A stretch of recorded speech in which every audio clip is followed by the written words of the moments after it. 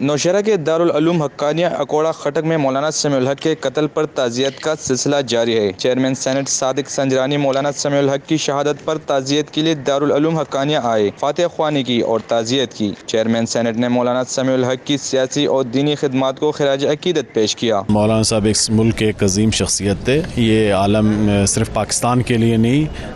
पाकिस्तान की सियासी शख्सियत के हवाले से आलम इस्लाम के लिए सबसे बड़ा ये सानिया है जमात इस्लामी के अमीर सराजुल समीउल हक भी दारुलूम हकानिया पहुंचे तजियत के बाद सराजुल हक का कहना था कि मौलाना समीउल हक ने दिफा वतन के लिए हर तरह के खतरा का सामना किया मौलाना समीउल हक साहब ने इस मुल्क में बड़ी जदोजहद की है इस्लामी निज़ाम के लिए मुल्क दिफा के लिए